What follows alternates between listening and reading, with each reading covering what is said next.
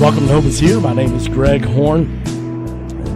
We've had guests on here that have really inspired me because they've overcome great obstacles and yet their faith has become stronger. Instead of becoming bitter, they've chosen to become better. And today we've got a real hero of the faith. Our guest today is April Ballentine. That's with a B. Ballentine, and she's going to be sharing her story with us uh, over the next uh, couple of programs. And April, first of all, thanks for being on uh, Hope is Here. Oh, thank you so much for having me. Well, like a lot of people, we've all been in relationships, and maybe we stayed in them a little too long. But you know, it's it's kind of better than being alone, and kind of like maybe an old pair of shoes. It just gets kind of comfortable. But tell us about uh, back in 2013. Uh, you were just kind of coming out of a a five year relationship, and share a little bit with us about that relationship. Sure. Um, I, I guess it was 2008 you know, I met this gentleman. It seemed like we had a very good connection. Our, you know, communication was great. There were some things that um, he enjoyed doing that I enjoyed doing as well, as far as sports and being really active.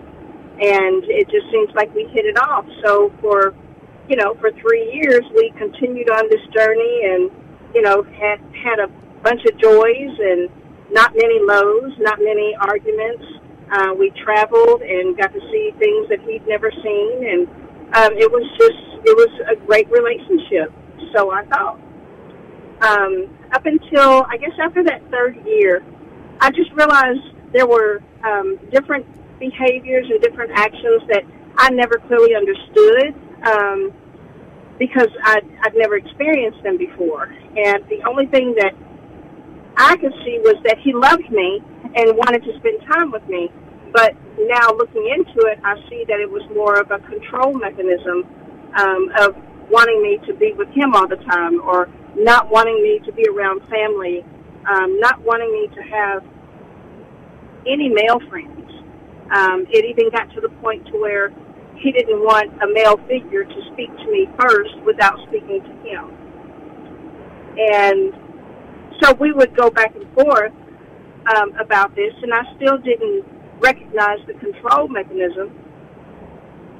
I just argued the point that you can't you can't make me ignore my friends, or you can't, you know, put me in a bubble and keep me there.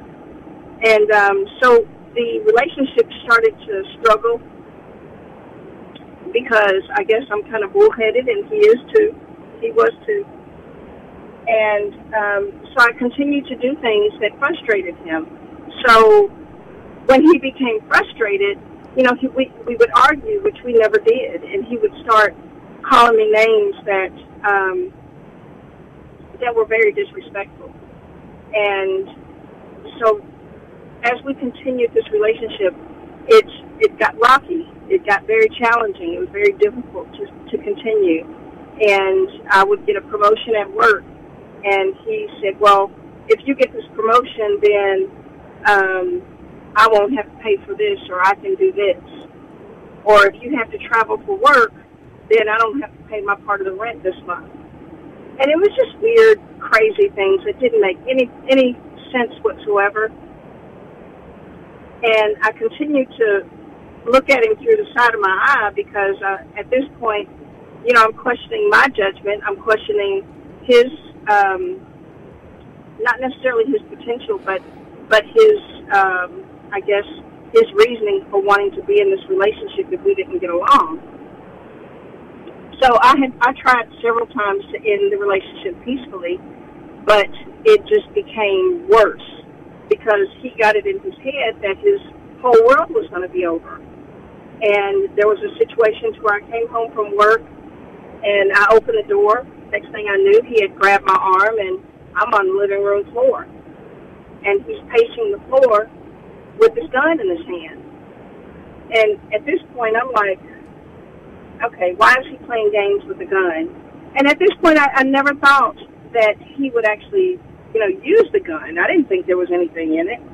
Um, I'd never experienced any type of abusive relationship. So he ended up leaving, leaving to go to work because he worked nights, and that that day when he left, I grabbed a change of clothes and I went to my mother's house and I got into bed with her and she's like, "Are you okay?" And I just told her I was like, "Yeah, I just need to sleep."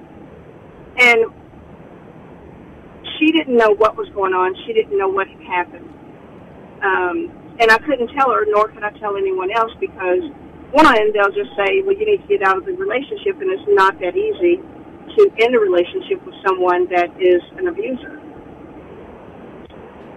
So I went back home. Things were fine for a while, and just erratic behavior continued. And I don't know what it was, but there was some type of substance abuse because I could see him changing throughout different times, or I could see a different person, um, and I can see him evolve into that person. So there was another situation. I came home, and you know I was pretty careful, and I went in the house and I left. I left my keys in my purse, like right at the. Actually, I left my purse at the front door, and I left my keys in my hand because I just never knew what I was going to walk into after face, you know, dealing with a gun. So that day I came home, and I noticed that he was pacing the house and he was a different person, and he, you could tell he was frustrated and angry. But he really wasn't saying much other than pick, trying to pick a fight. And I and I don't I don't fight. I don't argue. So he wasn't able to do so, which just frustrated him even more. And so I just continued to observe him pacing, and I didn't see a gun in his hand, but I noticed that there was something heavy in his pocket, in his pants pocket. And sure enough, I realized it was a gun. So when I realized that, and he went to the back of the house, I ran out the side door and jumped in my SUV. I started it up, and then he came outside and started to beat on the window with the gun. And he said, roll the window down, roll the window down. He said, if you take off, I'm going to shoot. So at that point, you know, I risked going down the hill, having an accident, and him shooting me. I risk it. I risk, you know, pulling off and him shooting me as well. So I figured I could talk him out of it. And I was able to calm him down, and he sat down and ended up sitting there crying, I'm sorry, I won't do it anymore. And that was the last situation of the gun. But we did have instances where we argued, and he still had, you know, the erratic behavior, but just no other, no kind of weapons, no, he never hit me or anything like that. So when did the relationship so, officially end? So the, the relationship officially ended on his birthday in June of 2013. I think it was either June the 3rd or June the 6th, one of the two. And the reason why, um, the reason why the relationship ended was because I had told him not to call me out of my name anymore because I found it very um, offensive and very disrespectful for someone, especially that you love.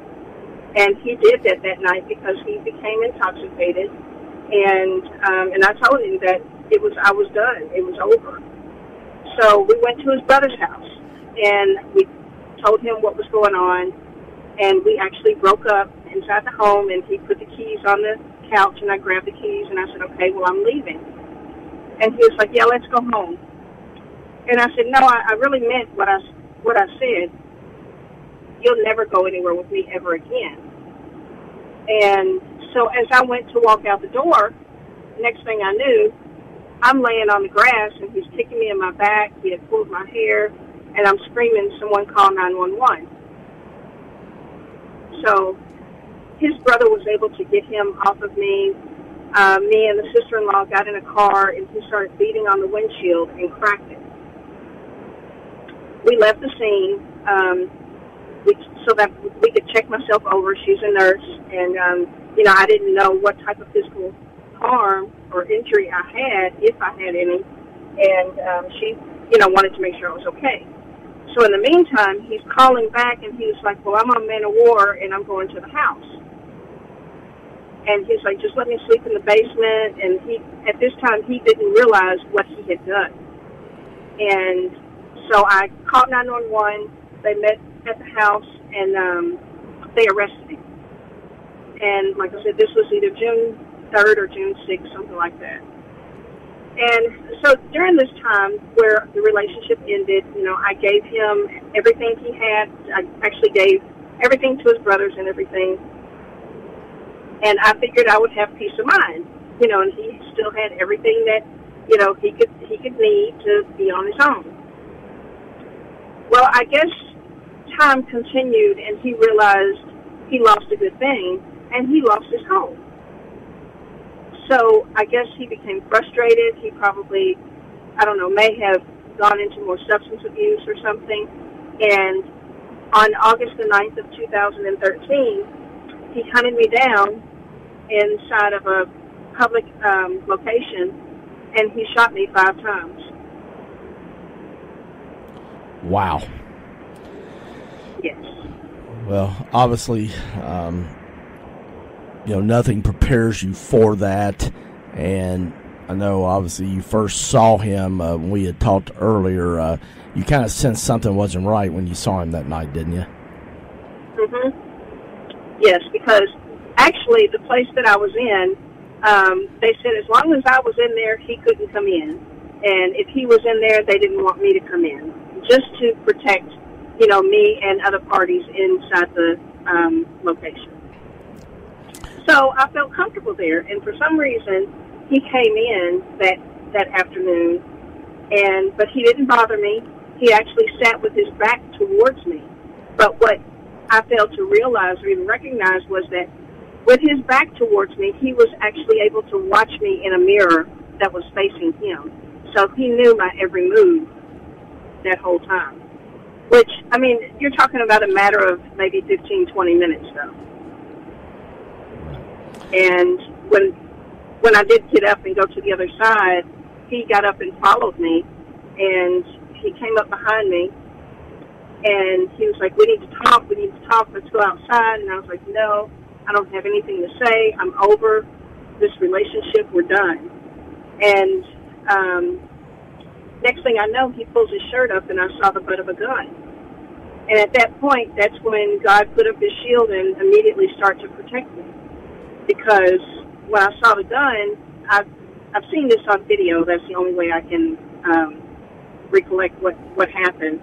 Um, I took a step and I fell, and he stood over me and he released the bullets while I was laying on the floor.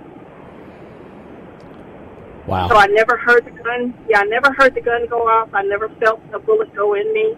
Um, I recall waking up and there was a white sheet over me. My ears were ringing and I couldn't see, but I just kept saying, I got to get up, I got to get up. And after the third time I said that, I heard sirens, and then I said, I can't breathe, and I faded out.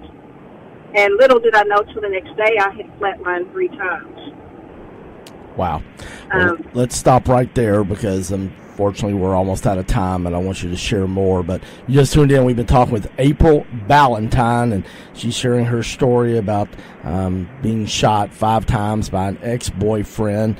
Obviously, miraculously, she is alive, but there's been some challenges and consequences to that night. But she has trusted God through all of this, and uh, she told me when we were preparing for this talk last week that uh, she has more peace than she's had uh, in a long, long time. And so you're going to be encouraged, you're going to be blessed as you hear somebody that what was meant for evil. When her ex boyfriend shot her five times, uh, but she is alive, and uh, we're going to hear about how she recovered and how she's helping others through this awful situation that happened back in August of 2013. So tune in tomorrow as we continue our conversation with April Ballentine on Hope is Here.